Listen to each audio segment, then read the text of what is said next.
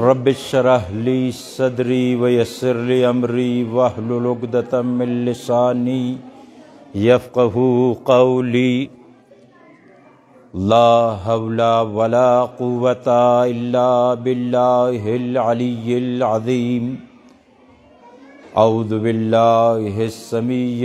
अलीम मिनश शैतानिर लईनिर रजीम बिस्मिल्लाहिर्रहमानिर्रहीम अल्हम्दुलिल्लाहिल्लज़ी खलक़ल इंसान व अल्लमहुल बयान व शर्रफ़हु अला साइरिल हैवान बिन्नुत्क़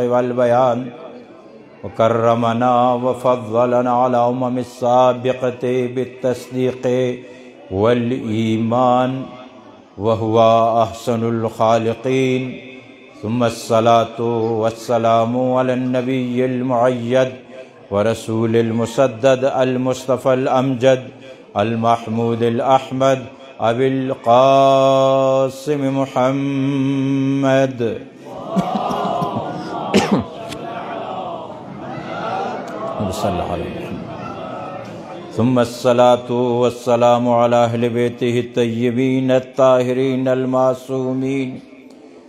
व असहाबिहिल मुंतजबीन अल मुंतखबीन अल मुतअद्दिबीन वलानतुल्लाहि अला अअदाइहिम अजमाइन मिन योम अदावतिहिम इला यौमिद्दीन आमीन या रब्बल आलमीन या मुहम्मदु या अली या फ़ातिमतो या साहिब ज़मान अदरिकनी वला तोहलिकनी। अम्मा बाद फ़कत काला। इमामुल हुसैन अलैहिस्सलातु वस्सलाम। अय्युहल अमीर।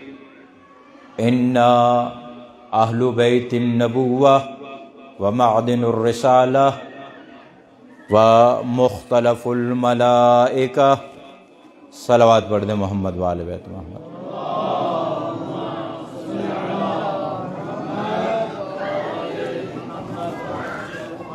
सामीन मोहतरम दानशमंदान दाम मेरे वाजबुल एहतराम कराम सबसे पहले आप तमाम के हुजूर इन अयाम की मुनासिबत से ताज़ियत और तसलीत पेश करता हूँ। और मैं ममनून व मशहूर हूँ। तशक्ल आरिफ हुसैन अल हुसैनी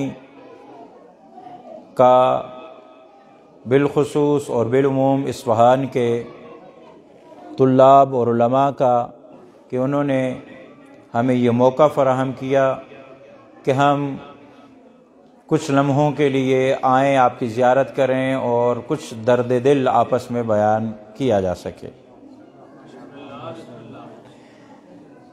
अजान ग्रामी ये हमारी पहली दफ़ा नहीं है कि हम यहाँ पे आ रहे हैं। तकरीबन मेरे ख़्याल में ये कोई हमारी तीसरी तकरीर है इसफहान में। आप हमारे मिजाज से भी वाकिफ़ हैं। और, अयाम, अगर मुनासिबतों के हवाले से देखा जाए तो बे मुनासिबतें हैं। मुनासिबतें, खुशी की मुनासिबतें भी हैं, गम की मुनासिबतें भी हैं। और आप जैसे आलाम जानते हैं कि मुनासिबतों के हवाले से गुफ्तु की जानी चाहिए। मसलन इमाम सलाम इमाम, सातवें इमाम की शहादत है।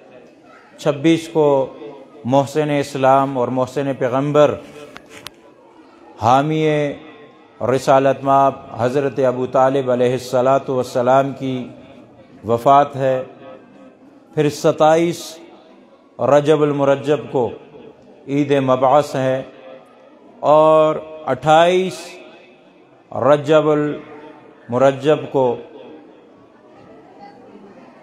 इमाम हुसैन सलाम का सफ़र इश्क शुरू होता है। अगर आप इसी तरह खामोशी से गौर से हमारी बातें सुनते रहे तो कम अज़ कम मुझ जैसा नालायक तालब इल्म आपके सामने नहीं बोल पाएगा। अक्सलवाद वर्द मोहम्मद वाले।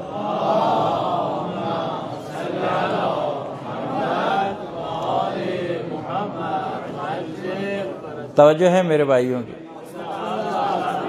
अजान ग्रामी आप लोग मेहमान नवाज़ लोग हैं, माशाल्लाह। और जब घर पे मेहमान आ जा, आया, आता है ना तो ये नहीं देखा जाता कि ये कैसा मेहमान है। वो अपने कर्म को देखते हैं अपनी करामत को देखते हैं तो आप अपनी करामत को देखकर हमें जनाब वाला जाना जाना सलामती आ जाएगा ये सलावत पे फिरिश्ते अल्लाहुम्मा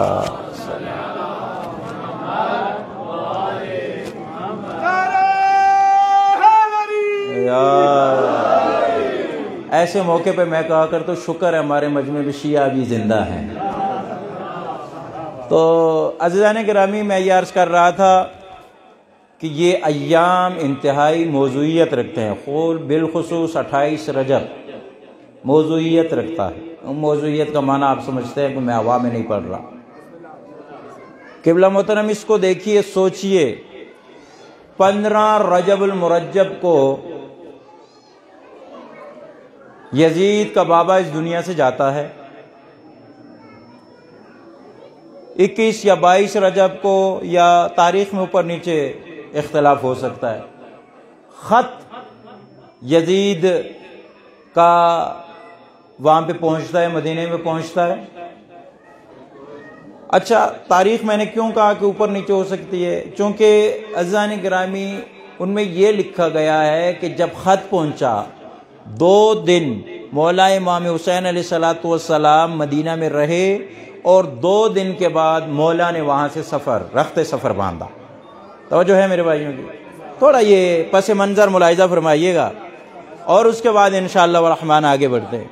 मेरा सवाल ये है अजीज़ान ग्रामी के हज़रत इमाम हुसैन सलाम पंद्रह, देखिए प्लानिंग जो हुकूमत के लाने के लिए होती है ना वो प्लानिंग पहले से होती है। हुआ ऐसे, देखिए, मैं एक, आपको दूसरे हवाले से बताऊँ कि एक बार ऐसी हुआ कि हाकिम शाम ने अपने वज़ीर ख़ास, मैं बात नाम नहीं ले सकता कि मेरे ख्याल में इस मेंबर से लेने भी नहीं चाहिए ज़्यादा।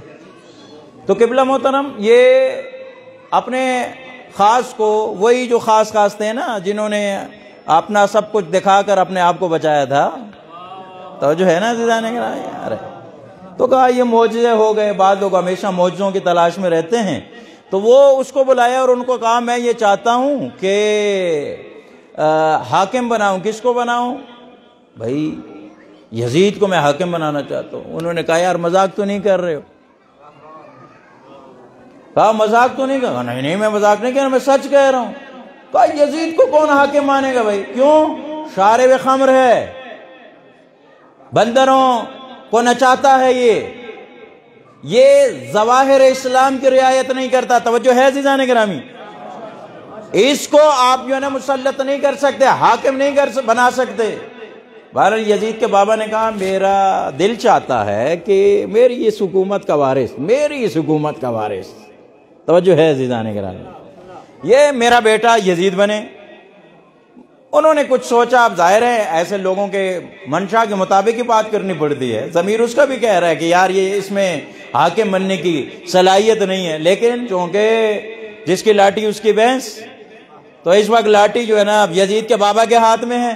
तो उसी के मुताबिक जो है ना आ, बताया जाएगा। उन्होंने कहा अच्छा बात ऐसी है कि आप ऐसे करो कि आप यहाँ पे लोगों को हुक्म दो कि कद्दू लेकर आए जबा करें, कद्दुओं को जबा करें। तवज्जो समात फरमाइएगा।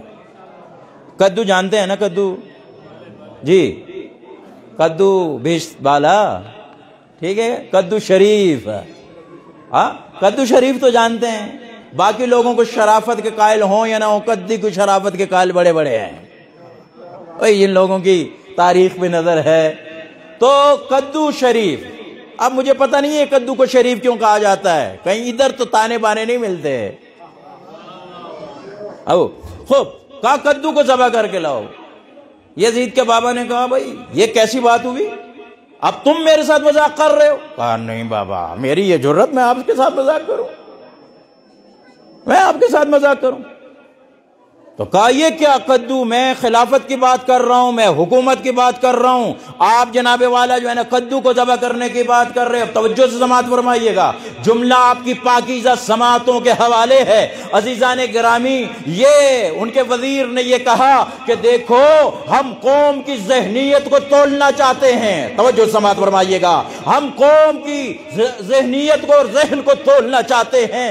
अगर आपकी उम्मत ने कदम कदमों को जबा कर दिया और कोई एतराज़ न किया तो समझ लो कि शरीयत भूल चुके हैं, कुरान भूल चुके हैं, सुन्नत रसूल भूल चुके हैं। यजीद तो क्या? यजीद से बदतर को भी तुम खलीफा बना सकते हो। लेकिन अगर उम्मत ने एतराज़ किया कि जबा हैवान को किया जाता है सब्ज़ी को जबा नहीं किया जाता है तो फिर उस वक्त तुम यजीद को खलीफा नहीं बना सकते। तोज्जो है अजीजान करा, मेरा साथ दीजिएगा, चूँकि मेरे जरा दांत का मसला बना हूँ मैं ज़्यादा ज़ोर से बोल नहीं सकता। तो अजीज़ा ने ग्रामी तोज्जो समाज फरमाइए कि देखिए, कौम को, कौम के जहन को तोला जा रहा है। पैगाम है मेरे और आपके लिए। मुफक्रीन और मख्ज मुतफक्र यहाँ पर तशरीफ़ फरमाए। ये कौमों के मेहमान यहाँ पे तशरीफ़ फरमाए, जिनके इशारों पर कौमें जनाबे वाले तरक्की करती हैं, जिनकी तकरीर से कौमों के शहूर बेदार होते हैं, वो यहाँ पे तशरीफ़ फरमाए। अजीजान ग्रामी क्या कहते हैं कि अगर कौम को तोलो पहले, उनके जहन को तोलो। अच्छा दूसरे दिन हुआ क्या? दूसरे दिन हुआ ये कि उन्होंने कद्दू जबा कर दिए। जब कद्दू जबा कर दिए तो कद्दू ही फिर जो है ना बनेगा। जो है ना मेरे भाई? यहाँ पे सारे उर्दू समझने वाले हैं ना? या मेरी तरह का कोई पठान भी है? हाँ ये तो पठान नहीं है, ये सैयद है। अरे, ये पठान नहीं है, ये सैयद है। हमारे यहाँ जो सैयद होते हैं ना, उनको हम कहते हैं ये सैयद है। जो सैयद के मुकाबले मुकाबले से मुराद ये है कि जो गैर सैयद जिसको आप लोग उम्मती कहते हो, हम उनको कहते हैं कि ये पख्तून है। तो ये पख्तून नहीं है। ये सैयद है, ये हमारा पीर है, ये हमारी मुराद है, ये हमारा बुजुर्गवार है अजीजान करामी अरे, इनकी जिम्मेदारियाँ हमसे भी ज़्यादा हैं क्योंकि ये मसनत के मालिक लोग हैं। ये मखदूम लोग कहलाते हैं अजीजान करामी इनकी जिम्मेदारियाँ और हैं। ये अगर आप इरशाद पर आ जाए ना सही तरीके से और ये, जैसे ये अपना सब कुछ छोड़कर राह दीन पर आ गए तो ये फिर अपने मुरीद को जो फर्श पे बैठा हुआ है, अर्श तक लेकर चले जाते हैं।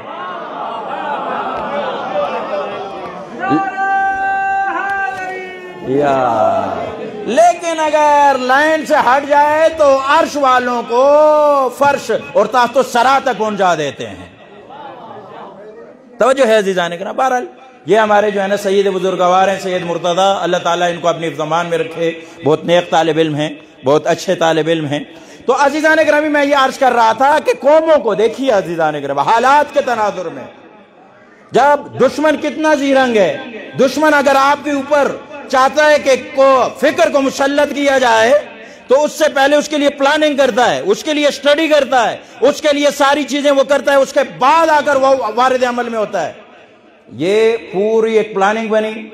जब प्लानिंग बनी, और माविया इस दुनिया से कहा, आप तवज्जो से समात फरमाइएगा। जब माविया इस दुनिया से गया, और पहले से भाई मुलाकातें तो आजकल भी हो रही है ना। पाकिस्तान के हालात से आगाह या नहीं? अभी कुछ दिन पहले भी तो गए थे। तवज्जो है ना जाने के नाम? मामला पठानों का नहीं है, आपके पंजाब का है। हैं? चौधरीयों का मामला है चौधरीयों के पास कभी अपोजिशन वाले जा रहे हैं। कभी जनाबे वाला इमरान खान रूस से आकर चौधरीयों के पास जा रहे हैं। तो है ना जाने ग्रामी ये भी बड़े मज़े की बात है, खान होकर चौधरी के पास जाता है। यार, भाई जुमलों की लताफत को समझा करे, मैं जो जुमले कह रहा हूँ, जुमानी जुमले हैं, इसको जरा देखिएगा। खान होकर वो जो है ना, उनके पास जा रहे हैं मुलाकातें। तो पहले इन लोगों ने मुलाकातें की कि भाई किसको लाना है, किसको ये करना है, क्योंकि हक का तलबगार तो कोई नहीं, हकीकत का मुतलाशी तो कोई नहीं। कि भाई, कोई इस बात के पीछे नहीं है कि हुकूमत मेरा हक है या नहीं। हुकूमत का हक किसको है, इसके पीछे नहीं है। भाई, मेरा बंदा आना चाहिए। यार यार, मेरा बंदा आना चाहिए। हमारे वोट ज़्यादा होने चाहिए। लिहाजा उन्होंने इनका इंतखाब कर दिया। प्लान बना हुआ था। इधर वो वासिल नार हुआ इधर उसके बेटे के लिए बेहत ली जाने लगी। ये भी आप भी बेहद दो, आप भी बेहद दो, आप भी बेहद दो। आज अजीजा ने ग्रामी ये अयाम वो हैं कि दो लोगों की बेअत है। तुम्हारी मर्ज़ी है अजीजा ने ग्रामी जिसके हाथ में बेअत करते हो। आज यदुल्ला भी बेअत ले रहा है और यद शैतान भी बेअत ले रहा है। एक तरफ़ यद शैतान है, चौंके अल्लाह रबुल इज़्ज़त ने दो ही विलायतों का ऐलान कुरान में किया, या विलायत खुदा का ऐलान किया, या विलायत शैतान का ऐलान किया। दो ही पार्टियाँ हैं दो ही पार्टियाँ हैं अजीजा ने ग्रामी। एक अल्लाह की पार्टी है जिसको हिजबुल्ला कहा जाता है। और अगर हिजबुल्लाह में ना आए तो किसी तीसरी पार्टी में गुंजाइश नहीं है हिजब शैतान में जगह पाओगे।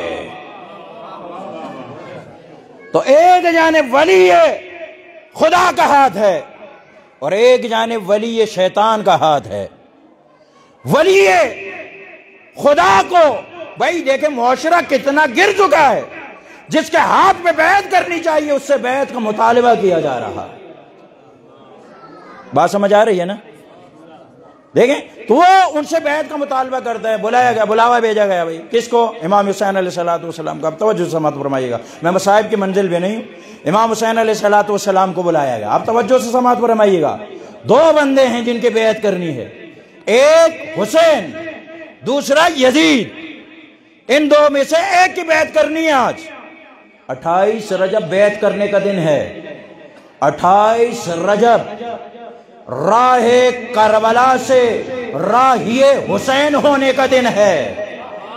भाई, जुमले की लताफत को पहचाने। राह करबला से राहिए हुसैन होने का दिन है।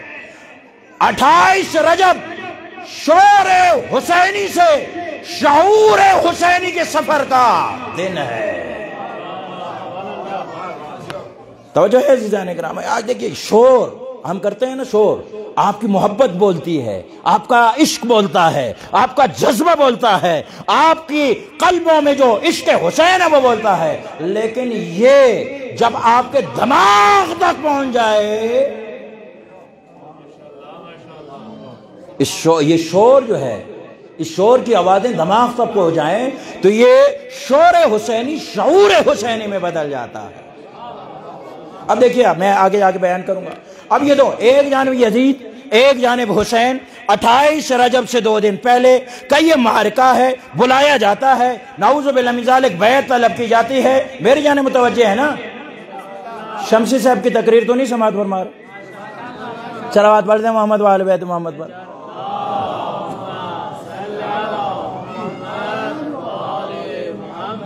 आगा से जो मिंबर है ना, मिंबर। मेंबर पे एक खतीब होता है। दो नहीं होते। लेकिन एक मेंबर ऐसा है कि जिसमें तवज्जो समात फरमाइएगा, जिस पर दो बार दो खतीबों को देखा गया। एक आगाज़ इस्लाम में और एक अख्ताम इस्लाम में। आगाज़ इस्लाम में बुलाने वाले का नाम अली था और ऐलान करने वाले का नाम रसूल था। हाय हाय हाय। तो जो है अजीजान करामी और अख्ताम इस्लाम में भी दो खतीब, ये पहले वाले दो खिताब दिखाई दिए। अब बुला रसूल नहीं रहा। बला, बुलान, अली नहीं रहा कि बुला कर लाए। नहीं, अब वो मजमा जो अली ने बुलाया था, नबी के हवाले किया, अब गदीर खुम में रसूल ने बुलाया, अली के हवाले किया। दोनों हाथ बुलंद करके।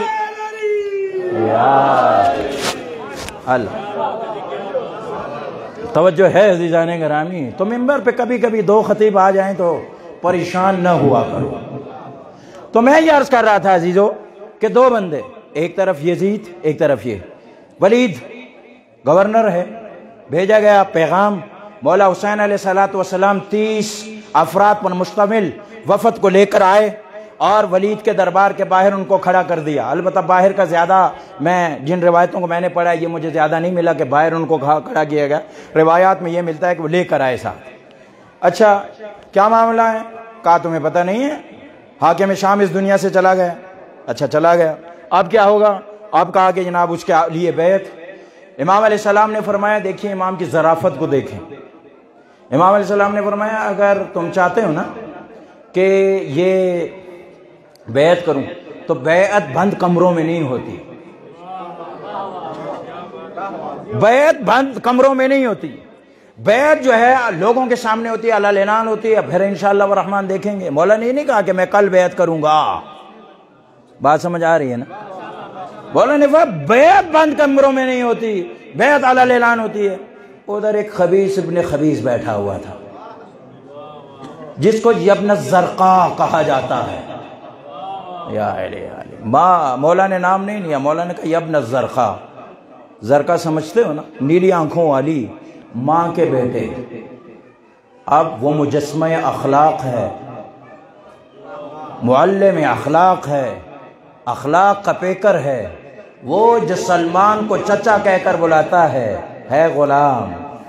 जो उम्मे सलमा को माँ कहकर बुलाता है कनीज वो इसको कह रहा है, यब नज़र का तो इसकी माँ के किरदार में कुछ ऐसा नुकता होगा? तो है ना अजीजान ग्रामी।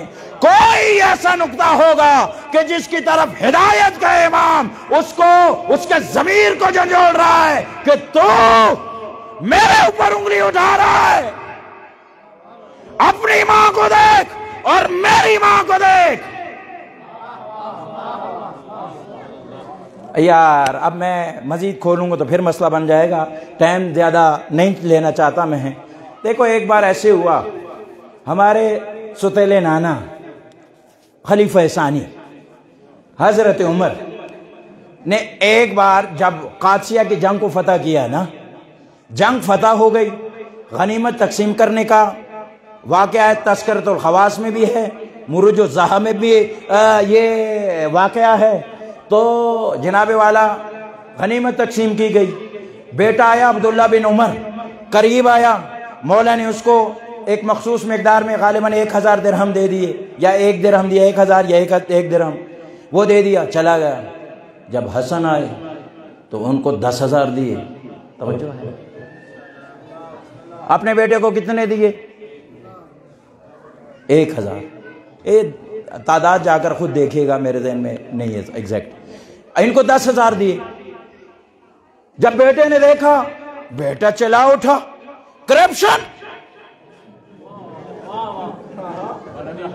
तो है जाने का नाम? ये तो ये ठीक नहीं हुई। भाई, किसके किरदार पर एतराज़ कर रहे हो? जिसको अल्लाह नहीं, लोग फारूक कहते हैं। तवज्जो है दीदान ग्रामी जिसको लोग फारूक के नाम से जानते हैं और उसके साथ आदम की कैद भी लगाते हैं, वो फ़र्क कर रहा है। अपने बेटे को हज़ार दे रहा है, अली के बेटे को दस दे रहा है। एतराज़ करने वाला कोई और नहीं, कोई शिया नहीं, बल्कि एतराज़ करने वाला इसी का फर्जंद है। बाबा, मुझे एक हज़ार, उसको दो हज़ार भी नहीं, तीन भी नहीं, चार भी नहीं, पाँच भी नहीं, दस हज़ार। सुनना, हक का फैसला सुनना, जनाबे वाला। इनकी जबान पर जारी होने वाला फैसला सुना। एक बार खलीफ सानी ने लोगों की नज़र में जो फारूक है, उसने एक फैसला किया। उन्होंने कहा, देखो मेरे बेटा, तू अपने आप को हसन के साथ मिलाता है। अपने आप को हसन और हुसैन के साथ मिलाता है। भाई, क्यों? हम हसन और हुसैन सलावाद मोहम्मद वाले मोहम्मद पर। खुश खुश आमदीद कहते हैं जाफरी साहब को। मैं इंशाल्लाह जल्दी तमाम करता हूँ। जब हम कहते हैं जल्दी तो इसका मतलब होता है डेढ़ घंटा। एक सलावाद दे मोहम्मद वाले।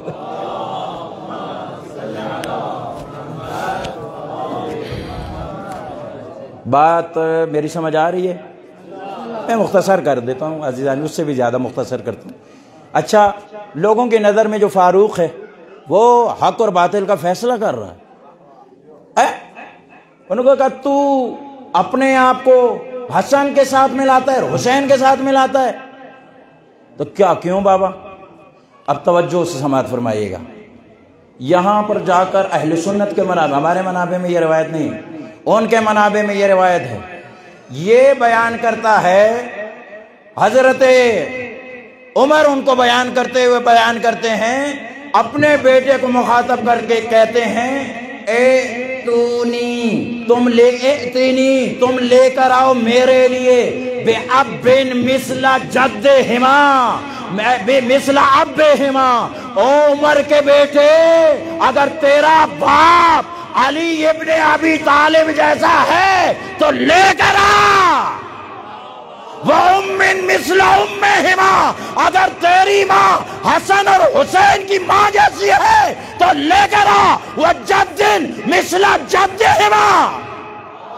यार यार।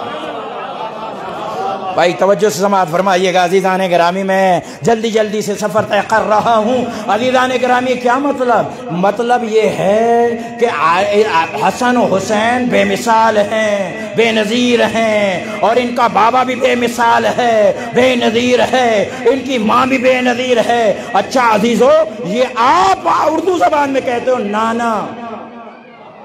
ये दादा।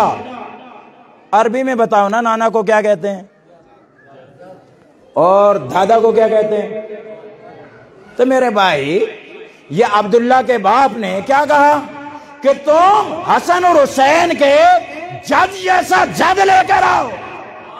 हाय हाय तवज्जो से समात फरमाए अजीजान ग्रामी ये फारूक ने क्या कहा अजीजान ग्रामी कहा ये कि हसन और हुसैन के जज जैसा लेकर आओ। ये तो नहीं कहा कि जज पिदरी या जज मादरी लेकर आओ। मतलब ये है कि जैसे पैगंबर, उनका नाना बेमिसाल है, वैसे हसन और हुसैन का दादा अबू तालिब भी बेमिसाल है।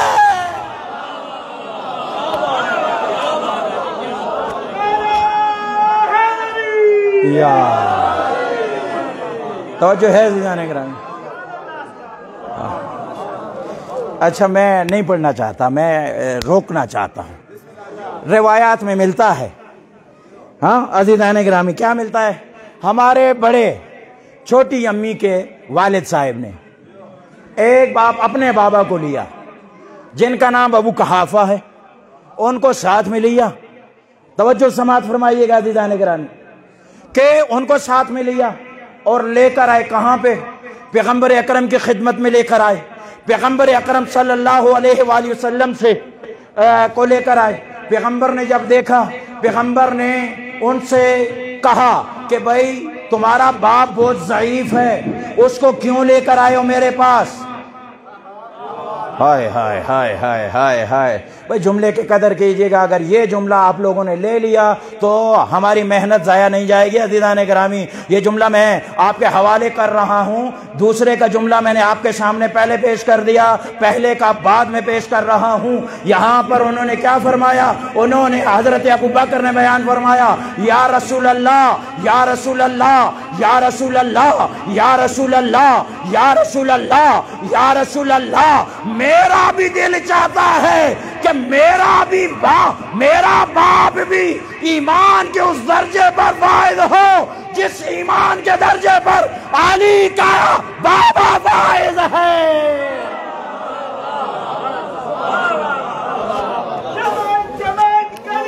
अरे।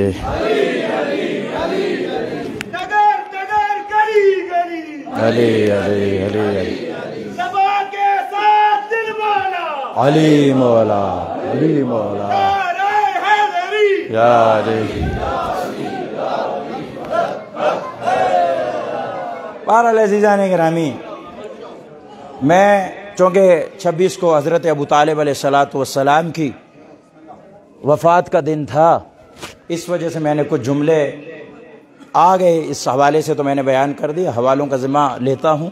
हमारे पास इनके हवाले मौजूद हैं।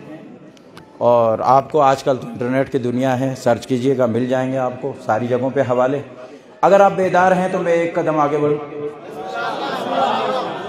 अब देखें वलीद, मरवान वहाँ पे बैठा हुआ है। इमाम हुसैन सलाम को बुलाया गया है। इमाम हुसैन सलाम ने बड़े इज़्ज़त और एहतराम से, अगरचे वो इज़्ज़त और एहतराम के काबिल नहीं थे, लेकिन इमाम ने उनको फरमाया कि भाई बेत नहीं, बेत अलान लेना। तो है जीजान ग्रामी। जब मरवान ने कहा वलीद को ख़िताब करके कि अगर हुसैन आज चला गया, फिर ये काबू नहीं आएगा।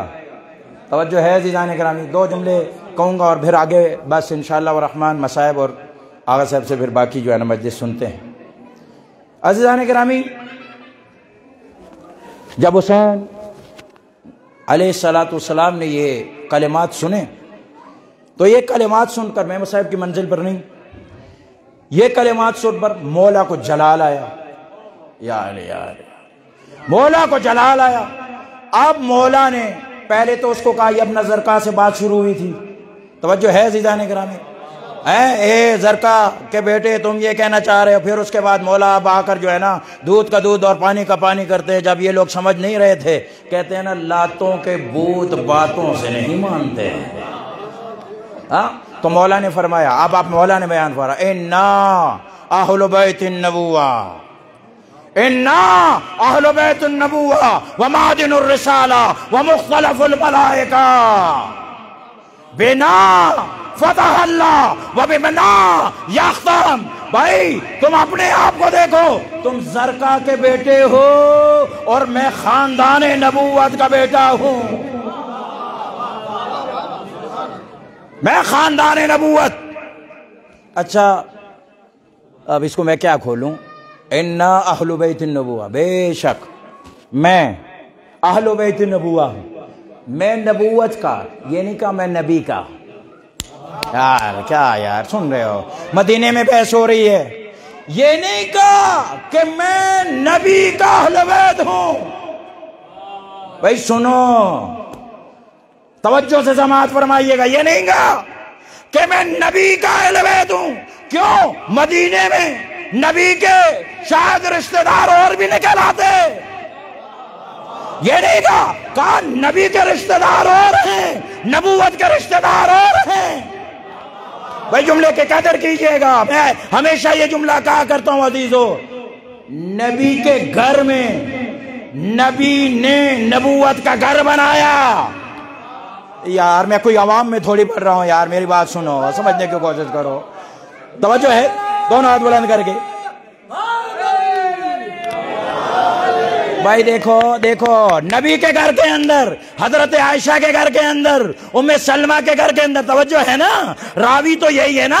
हदीस के शाह की रुबात में से ये है ना? तो ये लोग कहती है ना अजीदाने के रावी तो वो नबी का घर था, जो गारे से बना था, जो ईंटों से बना था, जो मट्टी से बना था। भाई समझो अजीदाने ग्रामी तो वो नबी के घर वाले थे, और ये नबूवत का घर बना, ये नबूवत का घर गारे से नहीं बना। फातिमा की चादर से बना। हाय हाय हाय हाय। जिंदाबाद। जिंदाबाद। या। तो अजीजा ने ग्रामी जुमले की जुमले की कदर कीजिएगा अजीजा ने ग्रामी नबी ने बता दिया कि आहले नबी और हैं आहले बहते नबूवत और हैं।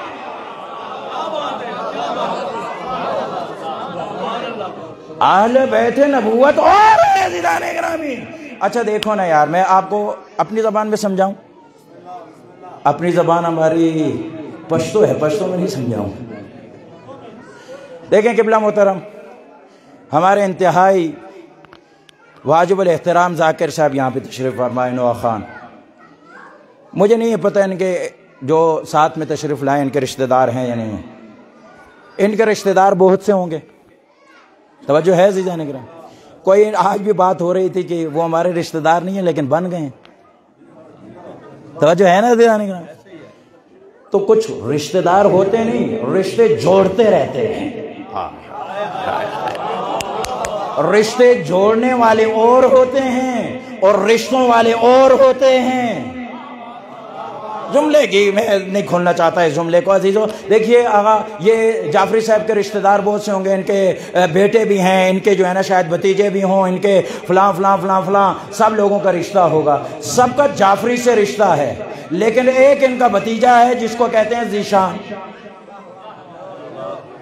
उसका किससे रिश्ता है? तवज्जो। उनका, इनके जिस्म के साथ भी भतीजा है मेरे ख्याल में आपको भतीजा है ना? जाहरी तौर पे रिश्ता है। तवज्जो है। लेकिन असल रिश्ता उनसे नहीं है, इसके मनसब से रिश्ता है। यार यार, ये बात समझने की कोशिश करो मेरे भाई। इनके मनसब से रिश्ता है।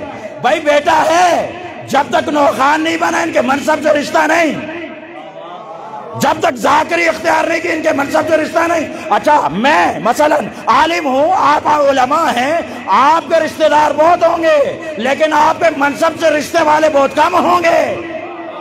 तवज्जो है ना दिगाने ग्रामी तो नबी से रिश्ता, उनके जिसम से रिश्ता हो सकता है, नबूवत से रिश्ता, उनके मनसब से रिश्ता होता है।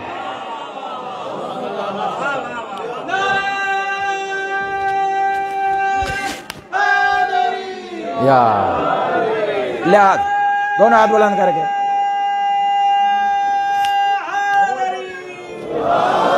बस मेरे भाई, मेरे अज़ीज़, मेरे दोस्त सुनिएगा अजीजा ग्रामी यहाँ पे हुसैन ने फरमाया, हमारा नबूवत से रिश्ता है।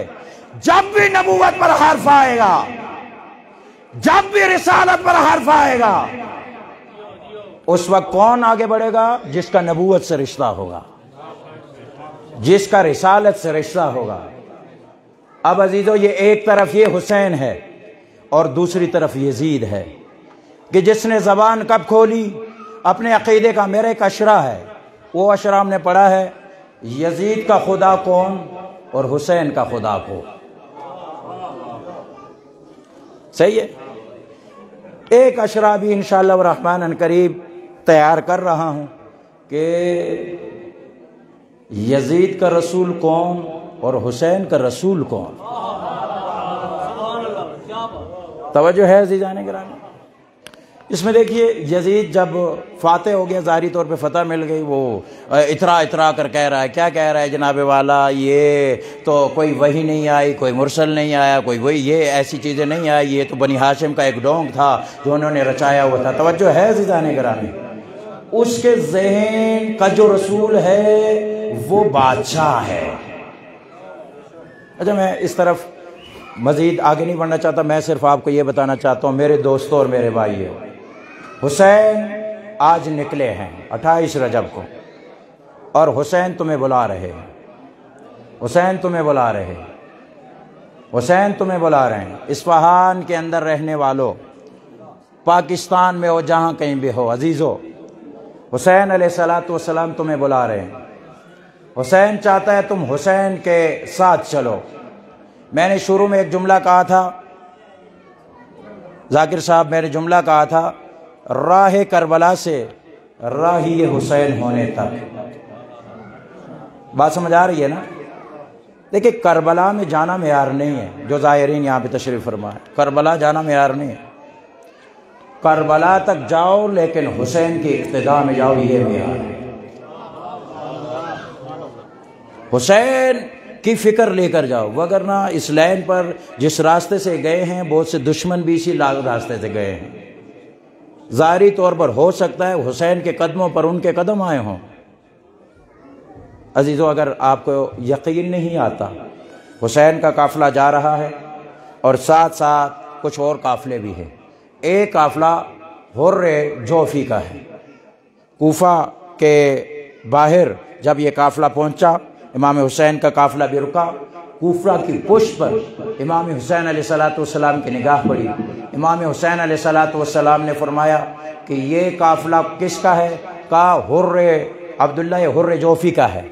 अच्छा इमाम सलाम तवज्जो समात फरमाए। हुजाज बिन मसरूक को और अली अकबर को भेजा और उनसे कहा कि हुसैन के साथ आकर मिल जाओ। तवज्जो। नहीं माना। हुसैन सलात वसलाम खुद चलकर उसके पास गए। भाई, कश्ती नजात गई है। हिदायत का चराग गया है। अब समात समात फरमाइएगा, अज़ीज़ समात फरमाइएगा। मैं पैगाम देना चाहता हूँ। जैसे उनके करीब गया मौला के इस्तकबाल के लिए निकला। हाथ चूमे, माथा चूमा पैगंबर ज़ादे हो, नबी ज़ादे हो, यहाँ ऊपर बैठिए, एक जगह पर बैठाया गया। मौला ने फरमाया कि हुर्र जोफ़ी, हमारे साथ चलो, बेहश चाहते हो तो हमारे साथ चलो। वो उन्होंने कहा, मौला, मैं कोफा के हालात देकर आ रहा हूँ। तवज्जो समात फरमाइएगा कि, मैं कोफा के हालात देकर आ रहा हूँ। मैं चाहता हूँ कि ना यजीद के साथ हूँ, ना हुसैन के साथ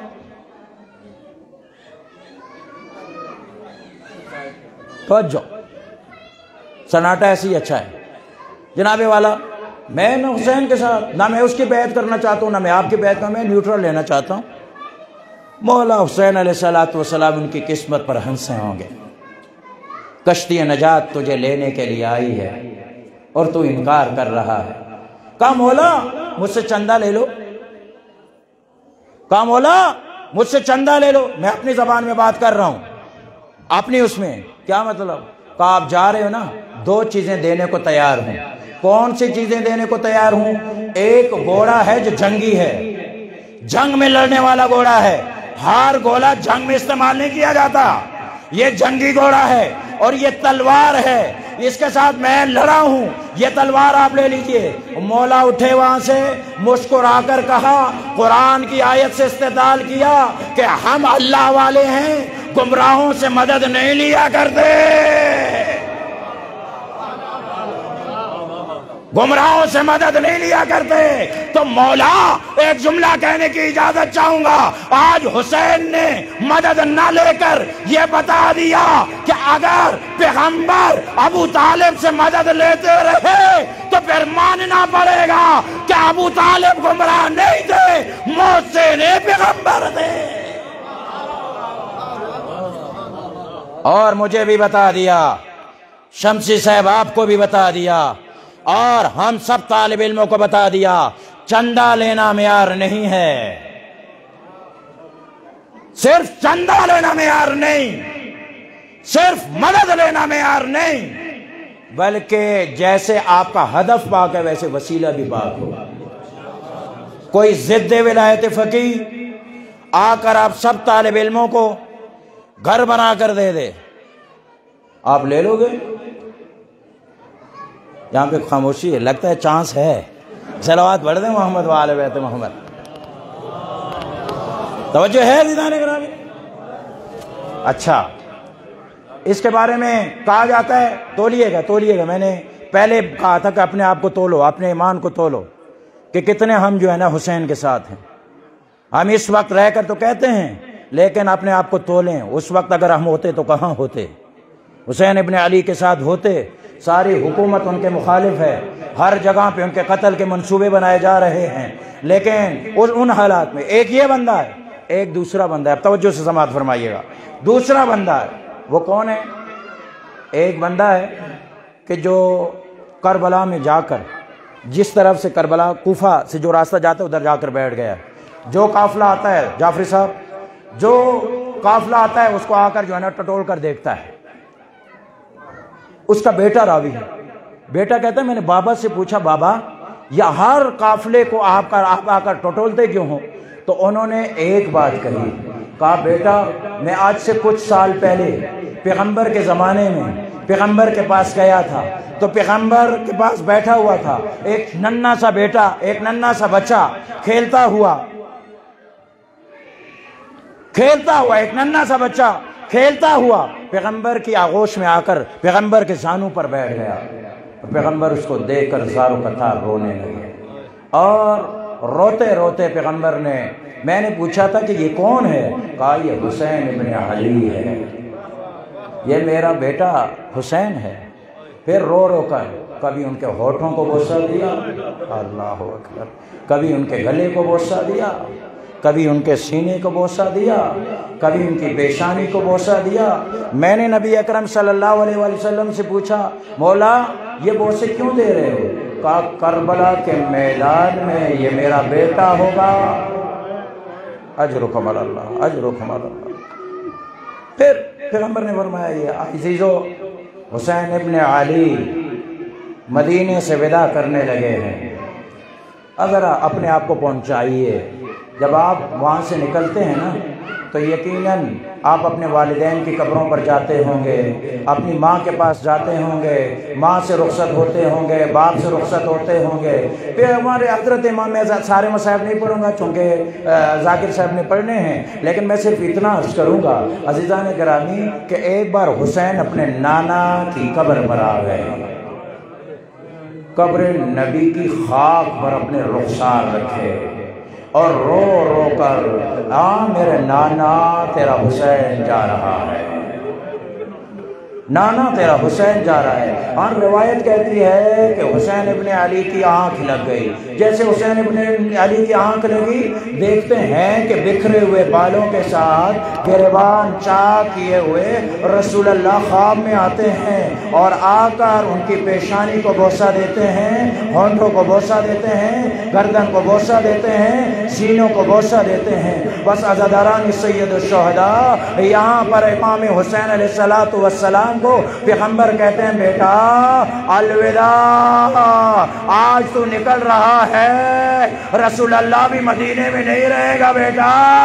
मैं तेरे साथ जा रहा हूँ। अब दस बस्ता में अर्ज़ करता हूँ, मौला, ये आपने हुसैन की पेशानी को बोसा क्या तो क्यों दिया? आवाज़ आएगी, मैं देख रहा हूँ। दसवीं का दिन है। मेरा लखते जिगर जख्मों से चूर चूर है। कमर झुकी हुई है। एक जालिम पत्थर मार रहा है। पेशानी पर पत्थर लगा। हुसैन की पेशानी से फवारा निकला। अदादारा ने सैयद शोहदा हुसैन ने कबा उठाई। उससे जख्म साफ़ करना चाहा। वहाँ पे एक बंदे ने। फजा सामोन मोहन लहू, सलास एक ऐसा तीर आया। और जिसके तीन जो थे, वो वकाल कल मिल हुसैन। अरे हुसैन के दिल में लगा। अजरो कमल अल्लाह। हाय हुसैन। बस अदा रानी सैद शहदा, अब यहाँ से रुखसत होकर कहाँ पे आए अपनी दुखियारी माँ हाँ हाँ परदेश में हो ना ज़्यादा प्रदेश में हो, बहुत सख्त है, बहुत सख्त है, दादा रानी से शोहदा बहुत सख्त है माँ की कब्र से जुदाई। मैंने तो यहाँ तक उलमा से सुना है, जब नाना की कब्र पे गए थे ना तो चल कर गए थे।